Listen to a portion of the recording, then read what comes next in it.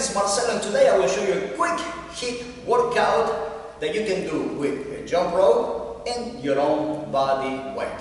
Only two exercises. The first one, and for 30 seconds of activity, we are going to jump rope. You can do any kind of jumps.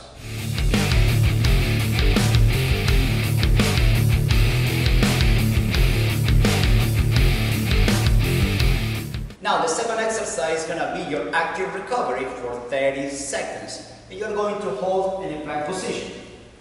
Make sure that you rest on your elbows. Elbows should be right below the shoulders and avoid sinking or bringing your hip too high. Make sure that you have one straight line from head to heels.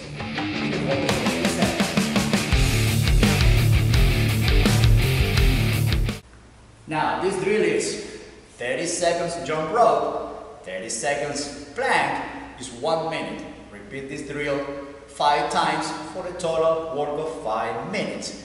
Thank you for watching and I will see you in class soon. Bye.